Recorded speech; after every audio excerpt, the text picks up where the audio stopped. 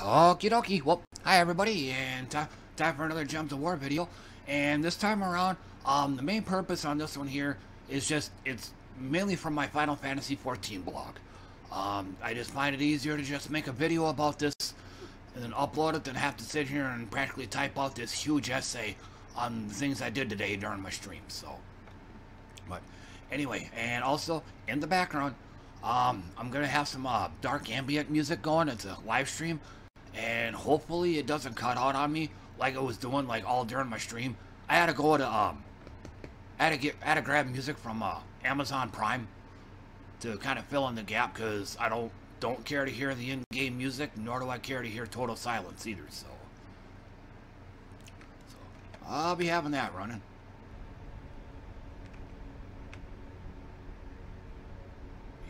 do a little brief sound test here.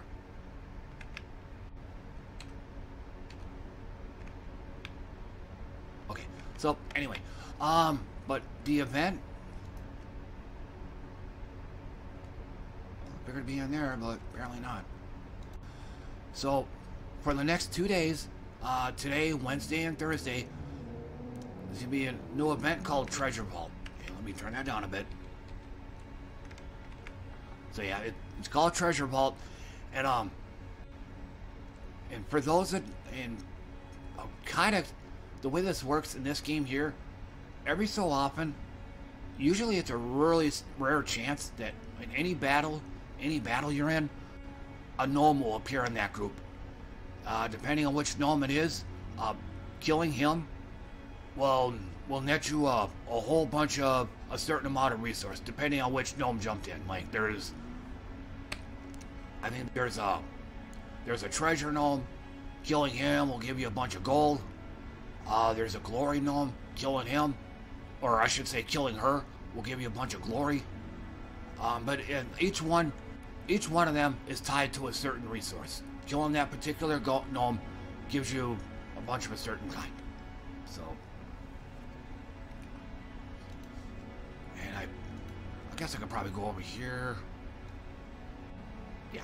And, um, and they also have an incre increased likelihood of dropping vault keys. And even rare, epic vault keys. So, and, um, I'm, I'm, well, to start with, I'll kind of do a quick demo. But, so I'll, no, you. Hang on, I gotta grab my controller real quick. So, what I've been doing for throughout most of the stream is uh, the Explorer mode. And for those that don't know, um, the Explorer minigame, it kind of works the same way that uh, the Torment levels work in uh, Diablo 3. You just pick which difficulty you want. The higher the difficulty, the harder the monsters, obviously, but it also gets you uh, it also gets you more loot though as well. So, but aside from that, generally speaking, as far as drop rates, drop rates are for the most part consistent. You're they're the same no matter which kind of content you do. So, is it just me or is it loud? Okay, I gotta I gotta turn it down a little bit from my end. Okay, there we go. Okay, so let me let me kind of do a little demo here. Nope. Right now, this is just a little plain Jane battle. And I came in with the wrong group. So let me go ahead and bail out of this. And let me... Come on. Let me drop in the right group.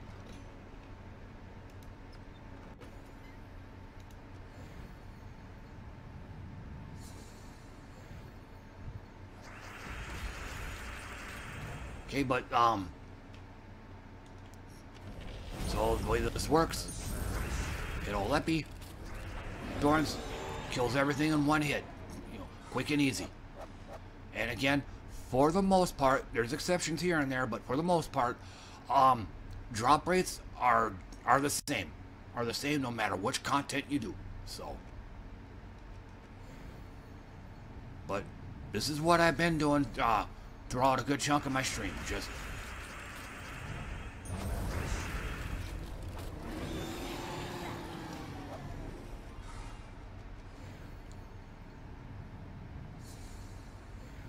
So, there we go. We got a glory gnome. But like I said, in every so often in these battles, a gnome will appear. Like this is a glory gnome. So when you defeat her, you'll get a bunch of um, you'll get a bunch of glory currency.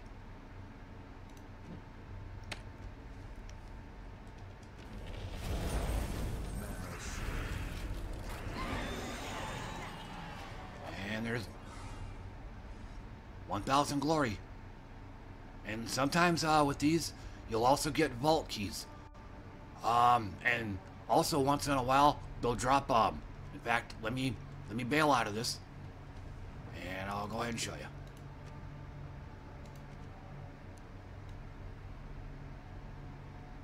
They are called Gnomeapalooza. And, um, you, uh, I don't, I don't know if there's a I think there's a one specific gnome that drops these. But I need a I need a note 3 and when you get it for the next 15 minutes all your battles will be nothing but gnomes. So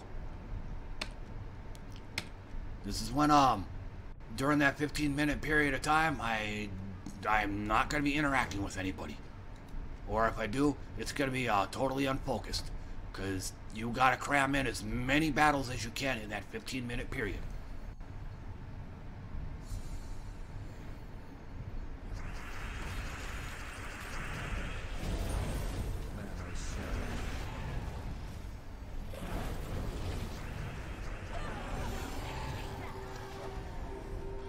And this is also, uh, if you have a controller with this game, it'll greatly benefit this.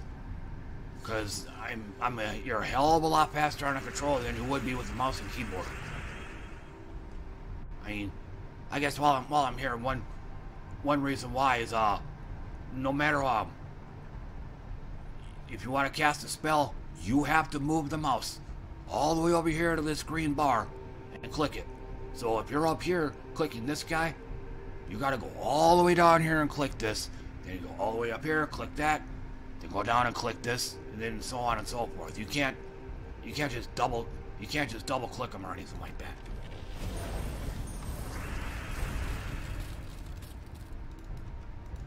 See, you can't even double click it. Yeah, and there's no, there's no hotkeys or anything that you can use, so, so that gets very tedious after a while. Click, click, click, click, click, click, click, click, click, click, click. So, now, my pattern with this is I'll do a whole bunch of these difficulty one ones, but in order to break up the monotony of doing so many of these, I'll do a difficulty 12 one or I'll go do some PvP or something. So I do take breaks from this.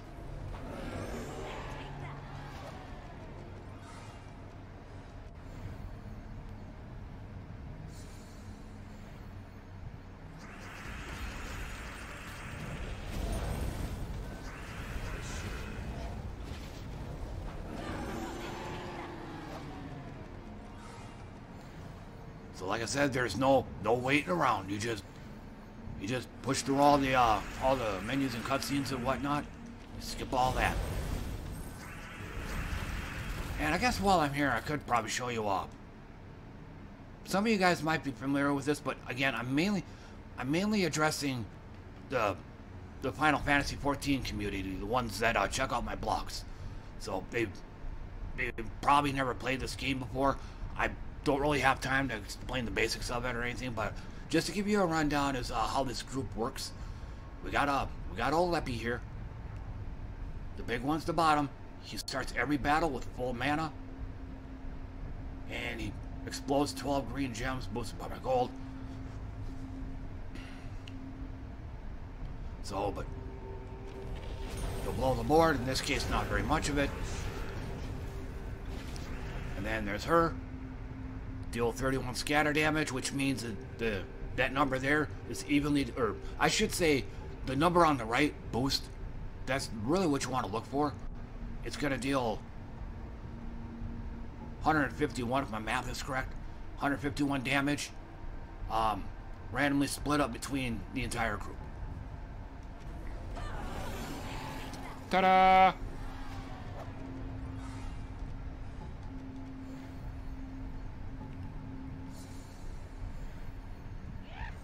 There we go. Um, and I believe it's this guy here, Freddy Fit, Freddy Fret Fiddler. Damn, it's a tongue twister. Um, if he's uh, I believe he's the one that drops the uh, musical notes. But again, let me let me keep going. Blow the board. Oh, and uh, this guy here. Some of you that have seen my other other videos are gonna be familiar with this one, the Miraji Queen. But the big one with her, all the elemental allies start with 50% mana, so they can get filled up quicker. Um, my my my hero's class is elementalist, so he's an elemental, or that makes him an elemental. Excuse me. And then there's this here, in case uh, in case her ability didn't work, I would have uh, my hero's ability, those black manacles, as a backup. Nope, not the one I'm looking for. But anyway, um, that's pretty much how it works. Uh, again, today, tomorrow, and Thursday, um, I'm gonna be doing this. Uh, gonna be doing this quite a bit. And um, normally, uh, Tuesdays are my pinball days, but I wanted to at least record a one-hour session and just upload that. But there's a. I'm also thinking about just going ahead and giving it a miss and just focusing entirely on this. Because this particular event here, if I'm guessing correctly, only comes once, maybe twice a year. I mean, I could play. I mean, I could. I mean, I could play pinball anytime. So, I mean, I always have that option. But with something like this, this gonna kind of take uh, kind of take precedence over that. But like I said, I'll I'll cross that bridge when I come to it. I mean, I'm still working on my blog post. So, I just wanted to show this. It's to save me a ton of time in the future.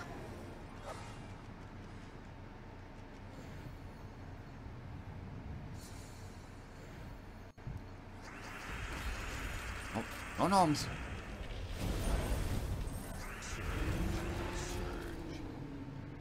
But, as I was saying with this one, elementals start with 50% mana she's an elemental, so she's, you know, she gets that boost. My main character here is also an elemental, an elemental, because he's an elementalist class. And then there's this here. I was trying to say this earlier. I have this as a backup. Like maybe if for some reason her ability, she didn't get enough mana for this ability. Maybe he did for his.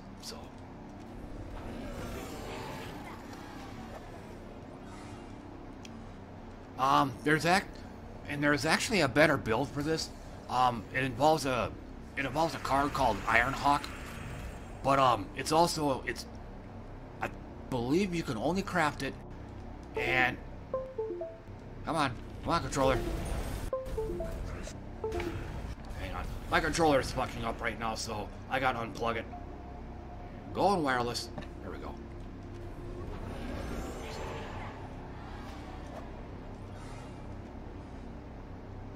Okay, so so I'll just go ahead and call it good there. Like I said, um, I'm I mainly made this video as a time saver for my blog, so and so I just wanted to demonstrate that. Um, but thanks for uh, thanks for watching, everybody. I appreciate that, and I'll see you all next time. Bye for now.